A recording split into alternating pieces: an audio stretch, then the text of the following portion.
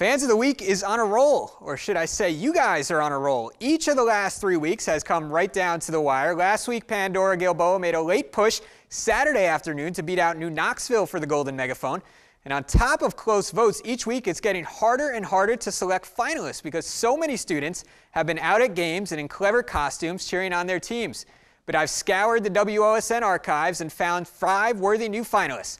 So let's unveil our Lee Kinstle GM Fans of the Week finalists.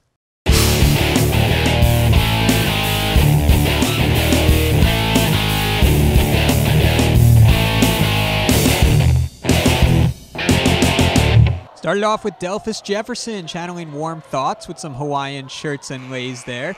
Nice job. Next up, Elida, the co-WBL champions. The fans loving that. How about Kalida now having a spirited jump around at Saturday's girls sectional final. And check out a rowdy crowd over at Marion Local on Friday playing for the MAC championship. The fans knew what was on the line. And then staying in the MAC St. Henry, the student section, they were loud on Friday against Coldwater. So there are your five Fans of the Week finalists. You can vote online at WOSN.tv.